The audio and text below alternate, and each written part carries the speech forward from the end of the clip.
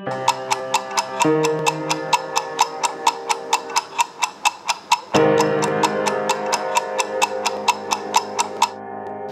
estamos pensándonos cómo, cómo celebrarlo.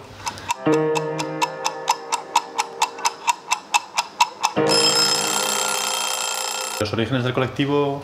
están en un grupito de gente que participábamos en el movimiento estudiantil. Más o menos eran los inicios de lo que posteriormente fue el Plan Bolonia y todo el proceso de mercantilización de la universidad. Pensamos que en la ciudad de Oviedo, una ciudad, pues ya sabéis, muy derechizada, con falta de espacios autogestionados, había algunos y lo sigue habiendo, pues, por ejemplo, eh, la Arcula eh, que es la tienda de comercio justo, y, también local social, ya existía en aquel momento, pero era una ciudad con pocos eh, espacios eh, autónomos de, intervención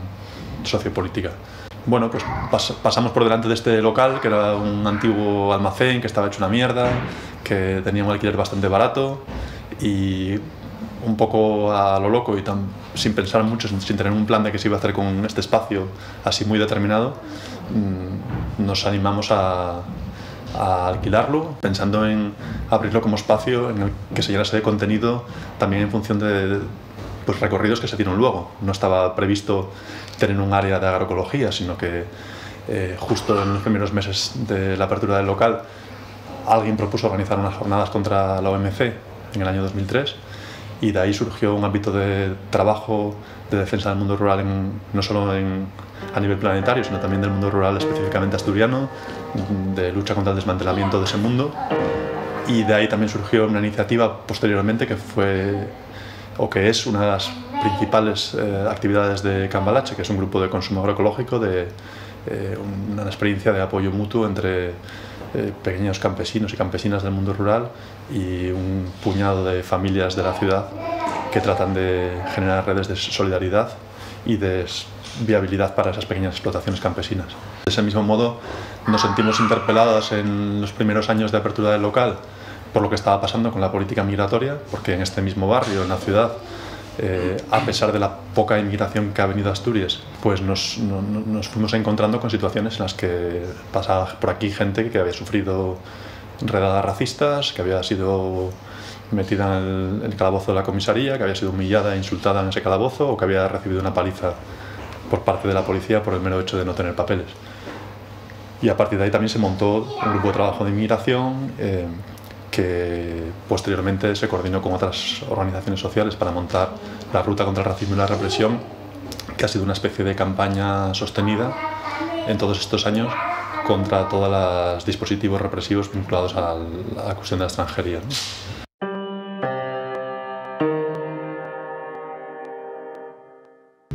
Una de las características del colectivo, creo que quizás desde los orígenes, ha sido darle bastante importancia a la construcción de pensamiento político propio eh, y a um, poner los medios para que ese pensamiento político se pudiera difundir. Mm, pensamos que no debemos, mm, con, con, la voluntad de no, de no caer en la dinámica del activismo cotidiano del día a día, en el cual nunca hay tiempo para la formación política y para la construcción de pensamiento propio, para evitar digamos, esa dinámica tan instalada en los movimientos sociales y en la que también nos sentimos reflejadas nosotras, pues decidimos eh, intentar dar ese espacio, esa importancia, esa relevancia a, a la formación política dentro de, del local, a, la, a programar eh, pues diferentes espacios, seminarios, eh, grupos de, también de, de, elaboración de análisis específicos sobre la realidad asturiana, sobre el, la realidad vinculada a los movimientos sociales y un poco sin darnos cuenta, porque tampoco estaba previsto, vamos a hacer una editorial en Cambalache, sino que se fueron dando diferentes situaciones. Por ejemplo, en el año 2003 el grupo de migración estaba empezando a luchar contra la política migratoria y uno de sus miembros trajo un, diario de un inmigrante argentino sin papeles que estaba trabajando en la economía sumergida en la zona de Cangas de Narcea y decidimos editar ese diario eh, con el título Los árboles de la muerte, crónica de un inmigrante sin papeles. Era una época además en la que la inmigración clandestina se suponía que era una cosa de Asturias, que era una, cosa que pasaba en el sur y en el Levante y en las grandes ciudades del Estado español, pero no aquí. Y fue una manera de, visibilizar esa realidad de la inmigración clandestina y de la explotación laboral eh, aquí en Asturias. Con el paso del tiempo y, y como hemos ido utilizando esa herramienta de la edición en más ocasiones, vinculada a esta importancia de la creación de pensamiento político propio, pues ya sí que fuimos un poco más conscientes de que teníamos una editorial y, hemos como tratado de darle ya otro, otro ritmo, de pensarnos un poco más eh, la planificación editorial y efectivamente ahora sí tenemos una editorial que ha sacado pues unos 20 libros en estos 10 años de vida del colectivo, además de los cuatro números de la revista feminista La Madeja.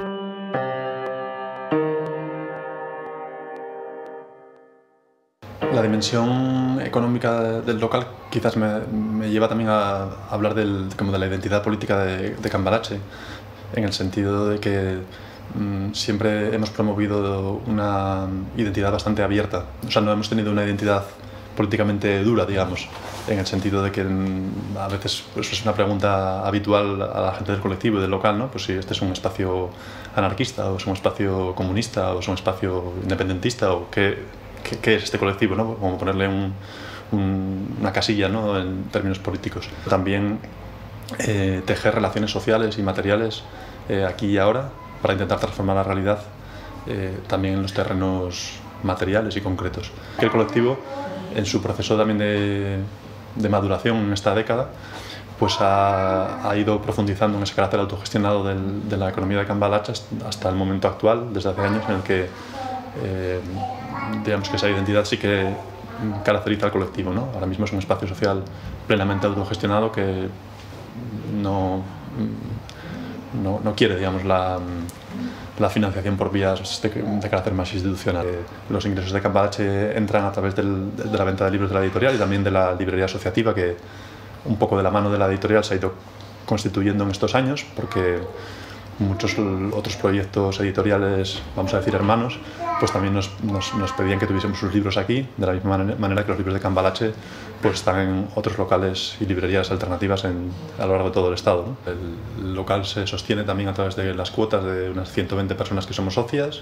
para pagar el alquiler y, y demás gastos de, del local.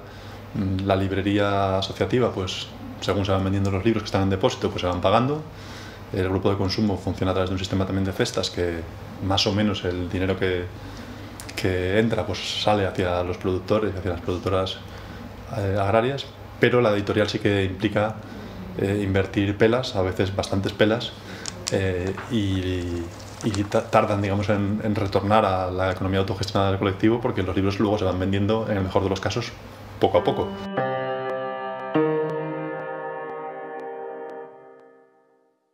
Hay digamos, como, como caminos marcados por, para responder a la pregunta de cómo participar en el proyecto, sino que más bien de lo que se trata es de que la gente venga por el espacio social, eh, desde el que se articula las diferentes formas de intervención sociopolítica del colectivo y que pues vayan conociendo a la peña que pasa por aquí y se vayan integrando en las diferentes formas de, de acción del colectivo, tanto en el ámbito de la lucha contra la política migratoria como en el espacio eh, feminista vinculada a la publicación La Madeja o como en toda la movida de la agroecología y del grupo de consumo. Me parece que el grupo de consumo lleva funcionando más de 400 semanas, que no sé cuántos años son. Eh, mm, pero si la gente se pasa por aquí el martes, sobre todo por la tarde, pues se encontrará a las decenas de familias que, que, vienen a recoger su cesta y también pues la dinámica de los turnos de apoyo, las asambleas, que estamos en la calle Martín de Vigil, número 30, que está ahí en la periferia del, casco antiguo de Oviedo, en la misma calle que el Cabeleño y la Calleja, que son referencias mucho más conocidas que, que nosotras, para conocer lo que vamos haciendo y para sumarse a, a, las actividades que llevamos a cabo. Hay una página web por la que también preguntabais, que es eh, www.localcambalache.org, que además de ser el lugar donde salen pues, anunciadas las diferentes actividades que se hacen en la programación del local, también tiene pues vínculos con diferentes textos, artículos y campañas que se han ido haciendo a lo largo de toda esta década y también tiene en PDF todos los libros que hemos ido publicando hasta ahora que se pueden bajar de ahí eh, directamente.